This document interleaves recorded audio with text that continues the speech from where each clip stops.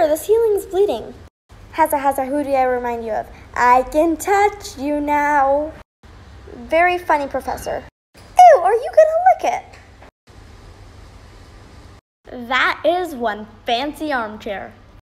You did not ruin my evening so you could flirt with the sofa. Harry, shut up.